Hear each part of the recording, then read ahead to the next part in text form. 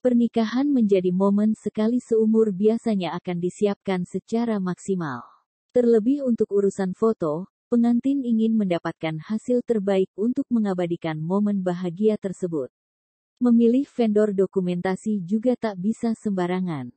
Pasalnya, momen tak bisa diulang jika hasil tak memuaskan. Hal inilah yang dialami oleh pasangan pengantin satu ini.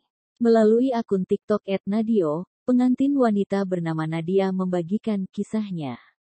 Persiapkan hari bahagia, Nadia memilih lokasi pernikahan outdoor dengan tema garden party. Lokasi yang sangat cantik dengan dekorasi indah dipilih oleh Nadia. Konsep dan dekorasi rustik menghiasi lokasi pernikahan Nadia hingga terlihat Instagramable. Tak hanya soal lokasi nikah, Nadia juga memilih make up artis mua terbaik untuk membuatnya cantik di hari bahagia. Ia berharap kecantikannya bisa diabadikan oleh sang fotografer. Sayang, kenyataan justru tak sesuai ekspektasi wanita berjilbab ini. Hasil foto dari fotografer yang ia pilih tak sesuai dengan harapannya. Ia pun sangat kecewa melihat hasil foto pernikahannya tersebut. Menurut Nadia, hasil foto yang ia terima tak sesuai dengan portofolio vendor yang ia pilih. Tidak ingin ada korban selanjutnya, Nadia pun memberikan pesan bagi para calon pengantin. Nadia berpesan agar para calon pengantin memilih fotografer yang benar-benar berpengalaman.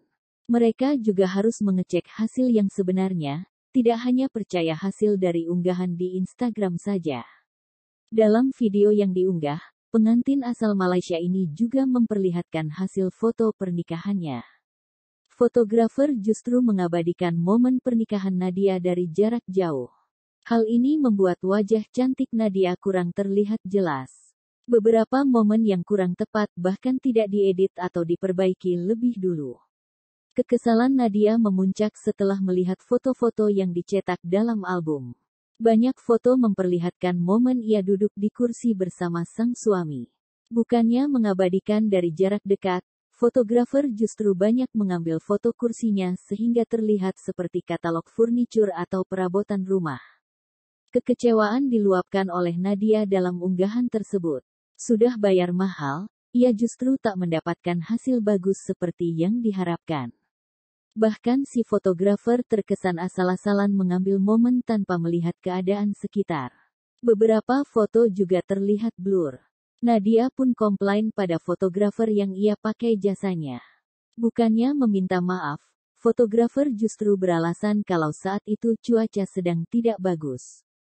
Nadia juga tidak diminta untuk memilih foto mana saja yang akan dicetak. Nadia bahkan mengeluarkan uang yang cukup banyak untuk membayar jasa fotografer tersebut. Dalam kolom komentar, Nadia menjelaskan kalau ia membayar jasa sebesar Rm 1699 atau sekitar 5,5 juta rupiah. Sontak video yang diunggah Nadia ini banjir komentar netizen. Tak sedikit yang juga kecewa hingga menjadikan peristiwa ini sebagai pelajaran.